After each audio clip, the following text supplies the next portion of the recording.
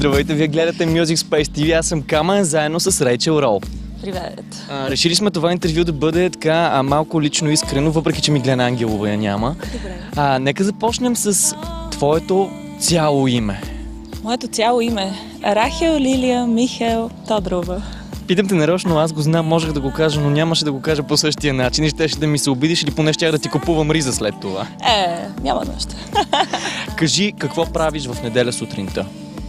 В неделя сутрин обичам да не правя нищо, да имам поне един час, в който а, просто да се наслаждавам на момента и да наблюдавам себе си, да наблюдавам природ, природата извън прозореца си и а, правя йога.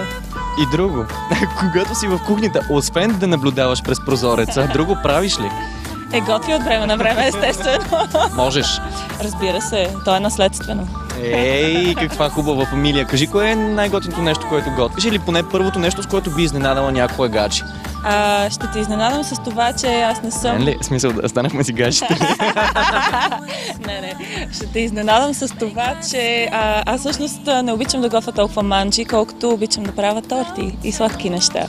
Така че, може би, моят специалитет е а, шоколадовата торта, която така е наследена от а, моята баба, която общо взето мога, мога да се похваля, че тази торта, който я е опитал, Аз повече друга шоколадова торта не иска да яде. почнах да преглъщам вече всяка неделя на торта в Рейчел. Да. А, но също така готвиш и нещо много важно. Готвиш албум.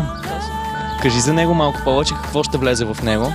А, в албума общо заето ще има горе-долу а, 12-15 парчета, все още не знам точния брой, защото все още съм в процес, записвам много усилено, цяло лято с това ще се занимавам общо заето. Никаква почивка за тебе.